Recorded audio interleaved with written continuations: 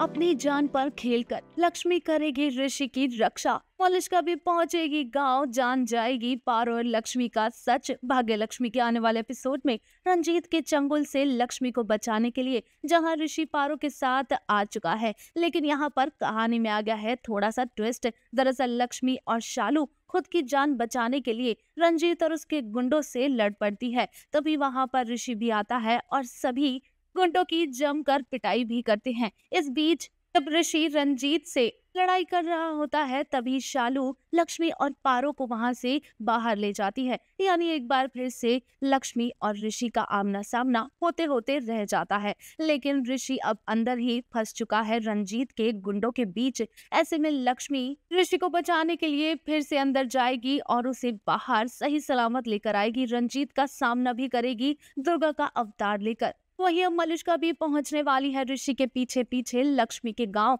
जहाँ वो एक आदमी से पारो और उसके घर वालों के बारे में सारी जानकारी भी पता करवा लेगी। और उसे पता चल जाएगा कि लक्ष्मी टीचर और कोई नहीं, बल्कि ऋषि की लक्ष्मी है। तो अब देखना होगा क्या मलिश्का ऋषि और लक्ष्मी को एक होने से रोक पाएगी। ज़रूर कमेंट करके बताइएगा और चैनल को भी जल्दी से सब्सक्राइब कर लें।